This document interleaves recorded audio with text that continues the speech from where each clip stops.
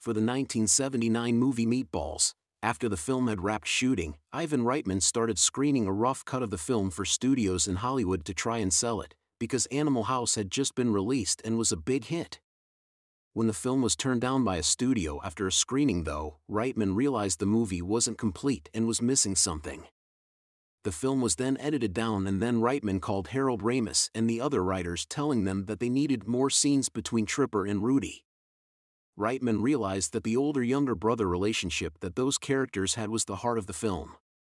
So, in Montreal during the winter of 1978, they built a makeshift cabin and turned a little coffee shop into a small bus terminal they shot these extra scenes over a weekend for $20,000, including an important scene where Rudy is trying to run away from camp by catching a bus, until Tripper shows up and convinces him to come back to camp.